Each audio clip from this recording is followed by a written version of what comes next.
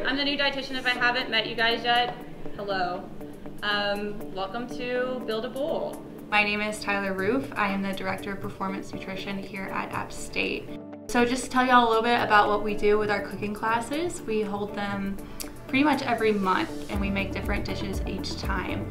Um, and it's really beautiful. We have a, a great lab over there that we kind of utilize for everything. We like to diversify our ingredients as well so our athletes get a little taste of something new, maybe explore flavors they have never tasted before.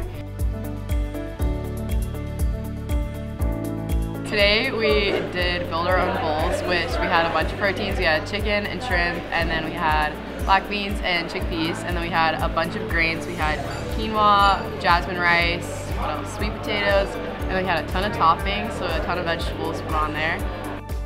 As people, this is important because I feel like everybody should know how to cook for themselves, at least like just a general sense of knowledge about the kitchen and like being comfortable in the kitchen I think is really important as adults because most people don't know how to cook for themselves and they spend a lot more money like eating out than when they could be saving money and like cooking for themselves at home.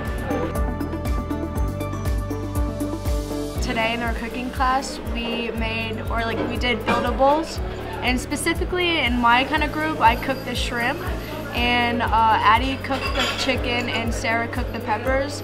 I'm not gonna lie, we did uh, perform like Gordon Ramsay today and the whole thing was delicious and I definitely probably will use the recipe next year while we're in the apartments. So really convenient and super fast.